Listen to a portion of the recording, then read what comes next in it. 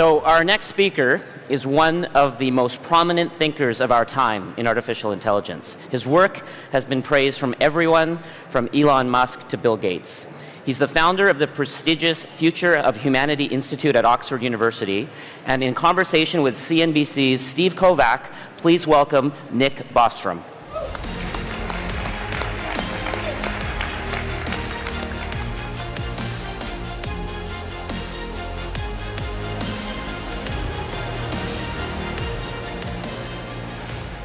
All right, came all the way from Oxford. Actually, just not, to tell from us- Montreal. Yeah, it's great. Um, so I want to start off broadly because AI has been a topic of this conference and just the tech community at large. A lot of these people are building products that are incorporate AI. I feel like there are many different definitions, especially today, what AI is. Why don't you talk about where we are now? What is artificial, artificial intelligence? Well, it's really become machine learning. It used to be about building expert systems in Yeah. the 50s and 60s and 70s.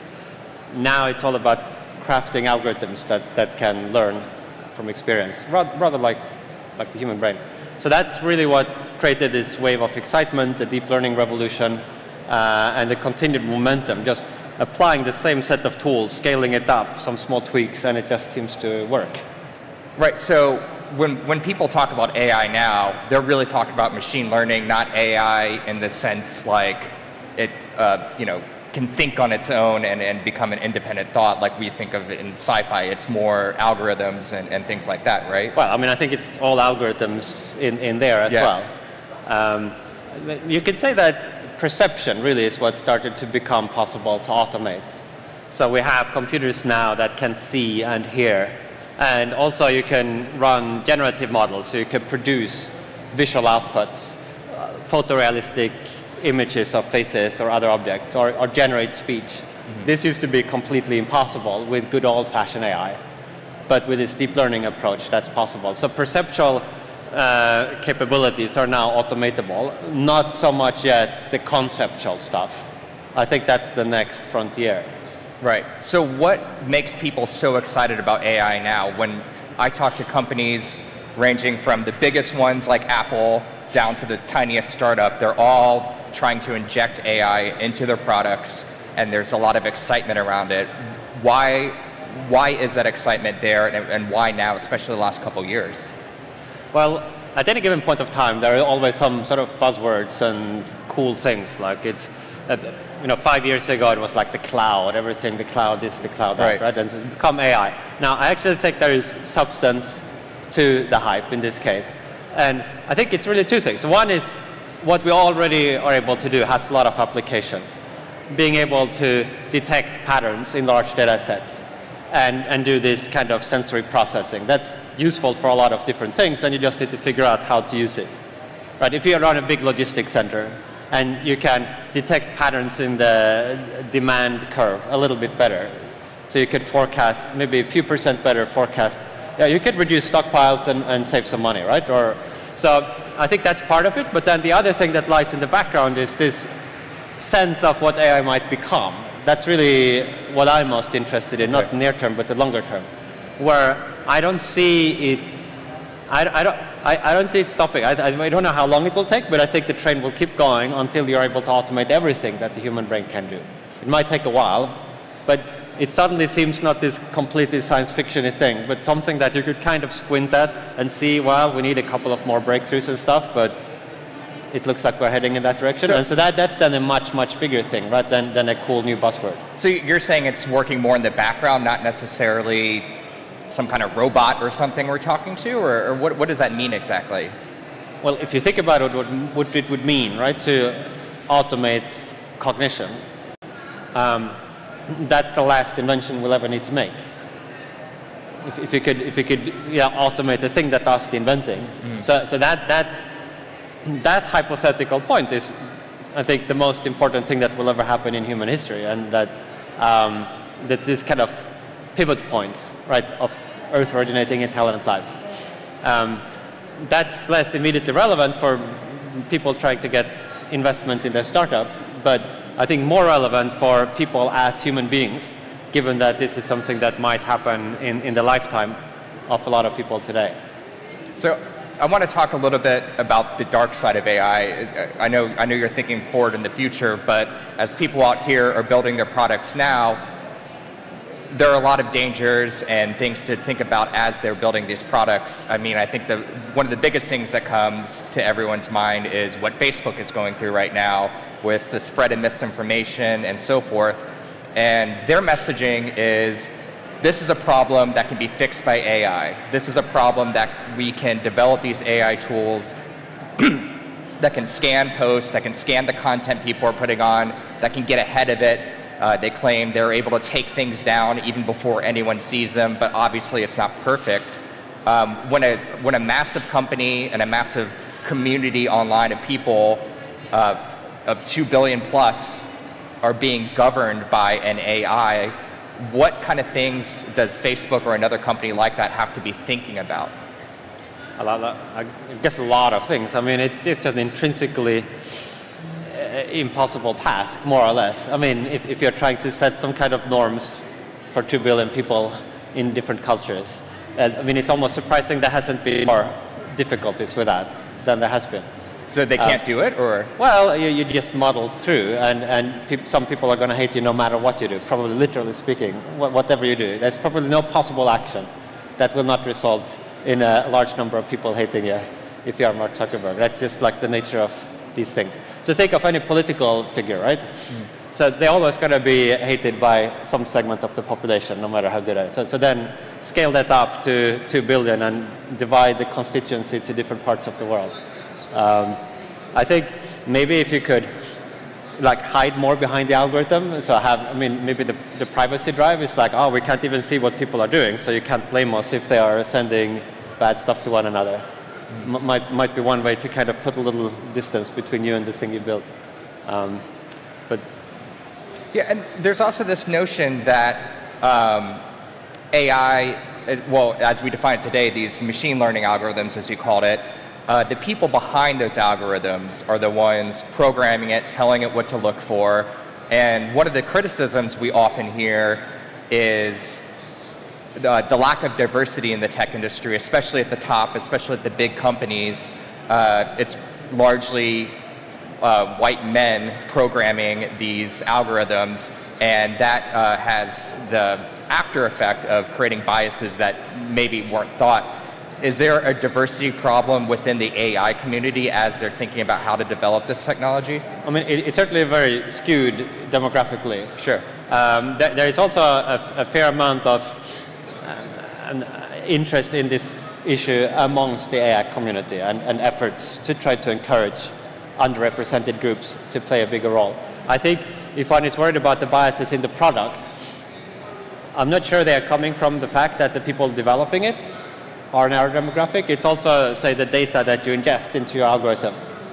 So if, if, if, if, if, if for example, you have something that tries to do, say, like, like a controversial example, like predictive policing, where mm -hmm. we try to anticipate where crime might be and then pre-position constables so you could arrest them, right? That, that's got to obviously reflect where crime is and where crime is viewed to be and, and existing socioeconomic conditions.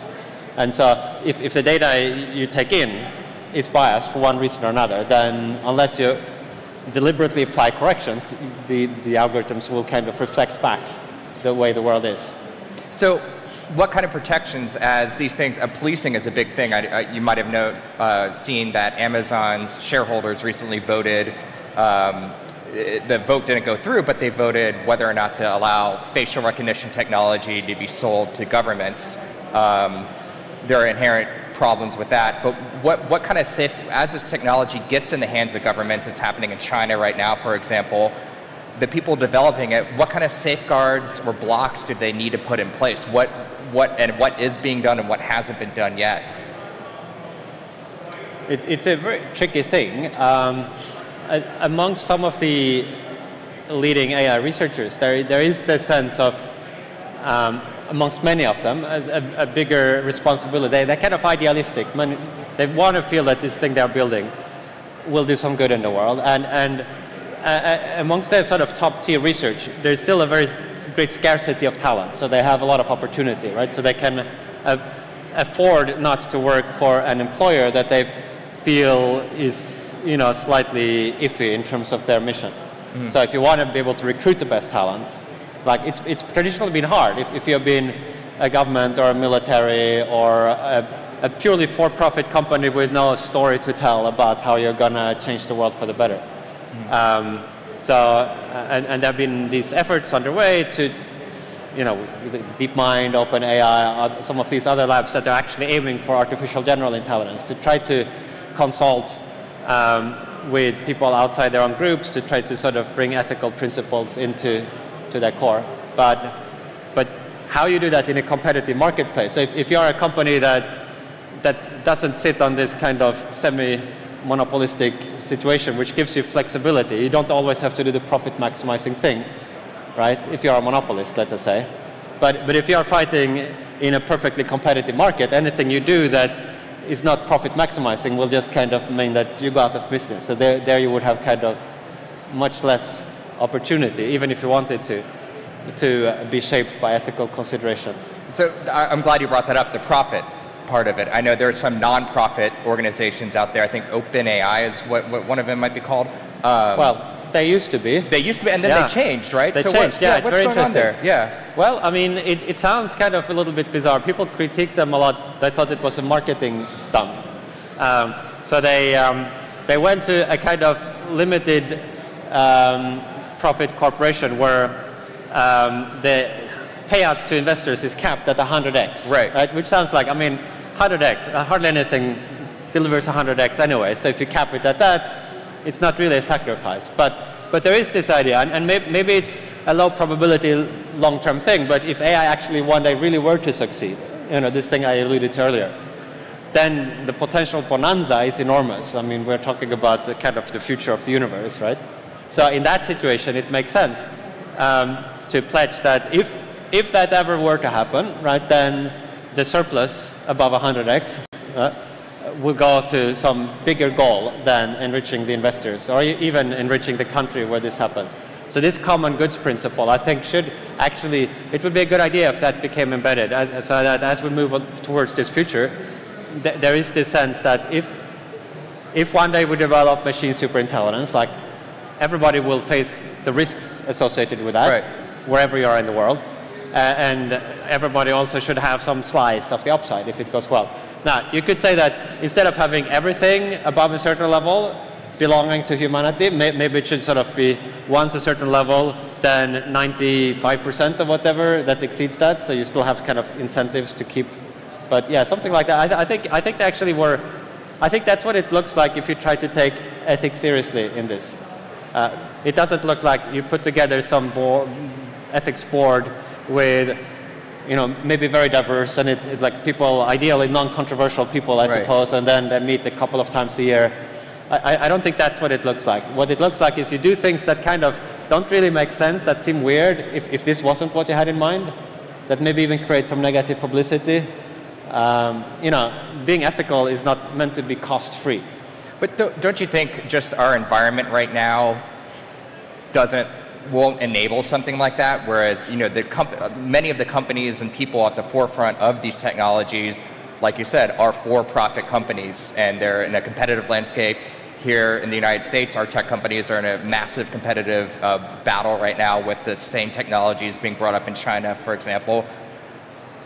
The, the dynamics there aren't in place to make something like what you just proposed should be happening happen. Are we going to get to a point where it, it becomes too much and they, they build this thing that they can't control? Well, I think there are several questions wrapped yeah. in, into one there. I mean, I think this kind of windfall clause could be feasible um, for profit, profit companies, given that these scenarios where you have machine intelligence optimizing the future of the light cone, they're not really actually part of what makes investors invest and the business plan, right? These are kind of totally outside what actually shapes decision. So if people don't actually believe that this will happen, it should be a free thing to promise that, right? It's not actually a sacrifice to promise to do something in a certain scenario that you're pretty sure will never happen. Mm. So uh, now actually would be the time to get this kind of windfall clause in. Um, in terms of the room for taking costly moves, well, I think one is some of these big tech companies are not in a perfect competition market, right? I mean, they sit on a kind of semi-monopolistic assets, network effects, economies of scale, and mm. so forth. And, and these sums that are invested in AI research, although big in absolute numbers, are small in relative terms compared to the overall scope of these companies. So it's, it's a small thing. Plus this thing that I alluded to earlier, which is that it's easier to recruit top-tier talent if, if you're actually credibly working towards something that would be beneficial. Mm-hmm. So um, I, I, think those two factors combine right now to give some room for, for idealistic moves to be made if, if, if there's the will and vision to do that. And if the companies can't handle it themselves, should the government step in? Well, I think if we're talking about regulation, uh, we want to distinguish the near term and the long term. In the near term, I don't. I mean, that, that might. Yeah, I think you have to look at it case by case. Um, you know, may, maybe if there's going to be self-driving cars, there has to be something that certifies that they're safe, just as there are yeah. with other vehicles. Um, I mean, so far, I think the benefits have far outweighed the harms. Uh, and I think it, it's a difficult thing for regulators to really do because it's a fast-moving technical field. You know, governments are very slow. They don't have much expertise here. One would worry, therefore, that if they became more actively involved, that they would uh, do thing, make things worse rather than better. Right. Um, and as for the long term, I think uh, it's premature there. We need to better understand first what the problems are, and, and may, maybe later there would, would be some role for governments, but I, th I, think that's kind of beyond the horizon right now for, for government. Efforts. Yeah, and we're seeing that problem now just with the more immediate issues, not necessarily related to AI, but when all this talk about tech regulation, at least here in the United States, it's abundantly clear that our lawmakers don't have, a, or many of them, don't have a full grasp of the technology they're being asked to look into to potentially regulate or break up and so forth. So that's, if, if they can't get that now, I can see the concern of this futuristic stuff and this AI, how they would have problems down the road. That, that, that, seems very likely. I mean, in Europe, there have been various attempts with this kind of data privacy and so forth. Yeah. I, I, I don't really know whether it made things better or worse or not. I don't have an opinion on that. But yeah. um, there has been a lot of interest among governments. I think so far it's mainly taking the shape, let's commission some big report, um, which, which, is a sensible place to start. You try to build up some capacity in-house to get some people to know about these things by doing these activities, uh, but, but fairly sort of hands-off.